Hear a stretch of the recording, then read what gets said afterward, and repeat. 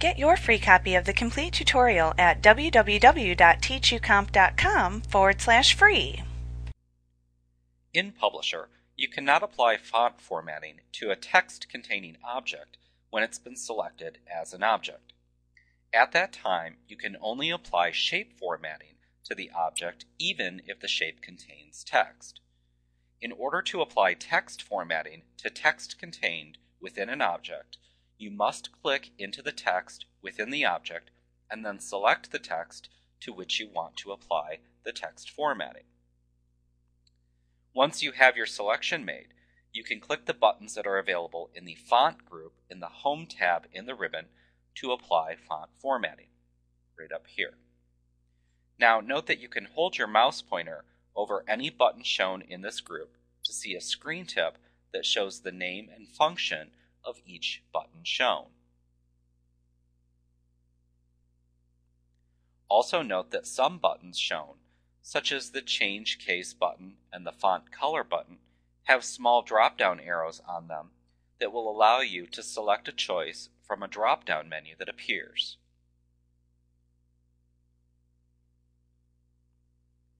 Other buttons, such as Bold, Italics, and Underline, are simply toggle buttons that either apply or remove the formatting specified by the button. Also notice the clear formatting button, right here. That removes all text formatting from selected text, returning the selected text to plain text within a text containing shape. Alternately, if you select text within the object, you can simply hold your mouse pointer over selected text and wait for the mini toolbar to appear.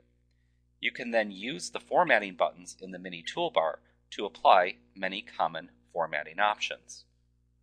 So we could go back into our text and highlight it, and you'll see that mini toolbar appear. When you roll your mouse pointer over it, it displays fully, and it has a lot of those same options which you can apply to your text. For advanced users, you can set all font formatting options for selected text by clicking the Font dialog box button in the lower right corner of the font group in the Home tab of the ribbon, located right here. Now, in the font dialog box that appears, you can access many text effects. You use the various drop-down selectors and checkboxes to apply the formatting that you desire. So we could go in here and could change font. We could select underline, for example change the font style, change the size. You can really play around and make whatever choices you want. Now you'll notice that at the bottom of the dialog box is a preview of how the selected formatting will appear. You can then click the Apply button at the bottom, right over here, to apply the formatting and then leave the font dialog box open. Or you can click the OK button over here to the left to apply the formatting and then close this dialog box. We'll cancel this for right now. In addition to font formatting, you can also apply paragraph formatting to selected text by clicking the buttons that are available within the paragraph group on the Home tab within the ribbon. Paragraph group is right to the right of the font group, right over here. And here you'll find bullets and numbering, line spacing, paragraph alignment, and special characters. Like font formatting, you can also click the Paragraph dialog box launcher button in the lower right corner of this group to open the Paragraph dialog box. In this dialog box, you can set the properties shown on the three tabs available. We have indents and spacing, tabs, and then of course line and paragraph breaks. So you can just click those tabs and make whatever choices that you'd like, and then you would click the OK button to apply them. In addition to custom text and paragraph formatting, you can also apply predefined styles to selected text. These styles allow you to create a consistent appearance in the type of text that appears within your publication, such as title text and heading text. to apply a style to selected text, click the Styles drop-down button in the Styles group on the Home tab in the ribbon, right up here, and then simply select the desired text style to apply from the drop-down menu that appears. Whichever one you would want. Click out of there. In the Arrange group, over here, again, on the Home tab in the ribbon, you'll find options that you can apply to the selected text within a shape, as well as options that apply to the entire shape. For example, you can click the Wrap Text drop-down to select a style of text wrapping to apply to text within a text box, right here. You can click either the Bring Forward or Send Backward drop-down buttons, located right here, in order to change the order in which the selected object overlaps with other objects on the page. Bring forward, send backward, and so forth. You can click the Align button right here in order to choose from one of the available alignment options displayed within the drop-down button's menu of choices. If you have multiple objects simultaneously selected in your page, you can click the Group button located right up here. So let's go ahead and select another object. And then you can click the Group button right here to group those together if you'd like. Then you could also click the Ungroup button if you wanted to ungroup those objects as well. Now you can also rotate an object. We'll select that text box again. And here's the rotate button. That's a drop down. And then you select a desired rotation, or you can flip them that by selecting those choices. You can also click the Format tab of the Text Box Tools contextual tab within the ribbon to see other attributes that you can apply to selected text in a text box, as well as to the text box itself. So here under Text Box Tools, click the Format tab right there. If you have text selected, you can click the Text Fit drop-down button in the Text group on this tab to apply a selected method of fitting text within its shape. So down here at the left-hand side is the text group, and here's the text fit drop down right here. So you can choose best fit, shrink text on overflow, grow text box to fit, or do not autofit, whichever you prefer. You can also click the text direction button to alternate the text between vertical and horizontal display. That's a toggle button. You can click the hyphenation button just below it to open the hyphenation dialog box, where you can set whether or not to automatically hyphenate the text box and where the hyphenation should occur.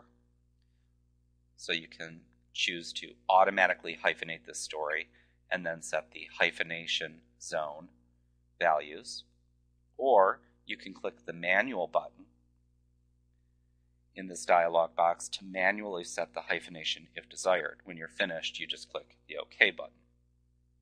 Now also note that you can click the Format Text box launcher that appears in the lower right corner of the text group on the Format tab of the Text Box Tools contextual tab in the ribbon, so right here, to open the Format Text Box dialog box.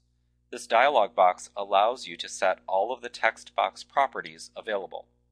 When you're finished, you can then just click the OK button to apply them. The font group shown on the Format tab of the same Text Box Tools contextual tab in the ribbon displays the same choices that you have displayed in the font group on the Home tab in the ribbon. So you have all those same choices available here. In the alignment group to the right of that here, you can set the horizontal and vertical alignment of text within the shape by clicking a desired option You have all these options here. You can choose to align center, align bottom center, align center left, and so forth. You can also click the Columns and Margins buttons to set column displays in a shape or to set the margin size. Those are drop downs there. Next, we have the linking group to the right of that. And in the linking group, you can create a link between text boxes so that overflow text from the first text box will appear in the second text box. This allows you to continue a story across multiple text boxes on different pages, which can be useful for newsletter publications. To do this, select the first text box that contains the text that you wish to link. So we have that selected right here.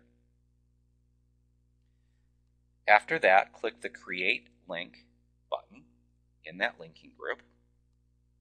Next, click on the empty text box where you want the overflow text to appear in order to create a link between the two text boxes. Arrows will appear on these text boxes once they're linked, and you can click the arrows to easily move between the two linked boxes. Like that. Once linked, you can click the Break button in the Create Link group to break a link. So we could go back up here. This is the Break Link button. Give that a click, and that will break the link. If we undo that, show you that we can also navigate between those using the buttons here. So you can navigate between those linked boxes as well. In the Effects group, right to the right of that, on that Format tab of the Text Box Tools Contextual tab in the ribbon, you can click the Shadow, Outline, Engrave, or Emboss toggle buttons to apply and remove those styles to the selected text. So you could apply a shadow after you've selected your text. You have outline, you have engrave, and you have emboss. So let's select our text, for example, and we'll click to emboss.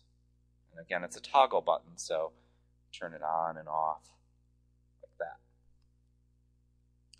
Next, we have the typography group on the Format tab of the same Text Box Tools Contextual tab in the ribbon where you can click the drop cap, for example, drop down, to select a style of drop cap for the selected text.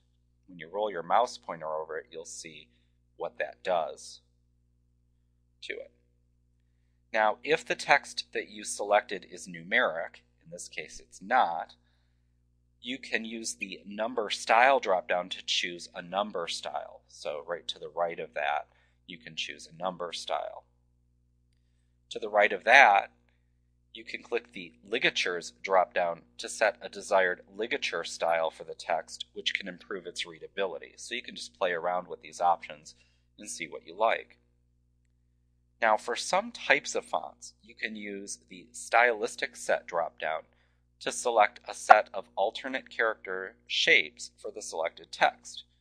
If the font you've selected includes decorative characters, you can also click the swash button below it to enable flourishes in the selected text. Also, for some types of fonts, you can use the stylistic alternate dropdown to select a set of different character shapes for the selected text. And really, this all depends on the font that you've selected. If they're grayed out, you don't have any additional choices, so if you see that, you'll know that you can't change that because of the font that you have chosen. And that's how you format text within the Publisher application. Like what you see? Pick up your free copy of the complete tutorial at www.teachucomp.com forward slash free.